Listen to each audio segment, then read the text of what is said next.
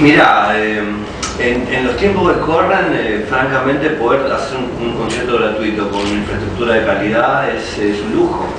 Entonces, eh, es cuando se puede realizar, eh, hay, que, hacerlo, ¿no? Es, eh, es una política de la casa, quiero decir, de- siempre lo hemos hecho a través de 30 años, ¿no? Entonces, y volver a ti después de tantos años de esta manera también es, es muy halagador. Es en el sentido que tenés una estructura muy, muy poderosa y podés juntar a toda la comunidad en una, tarde, un par de horas para, para hacer un poco de música y, un poco de- de- del lío del verano. La verdad que no, no, hice conciertos este verano, así que va a ser el primero que, el cual vamos a tocar. Es manera es un regalo.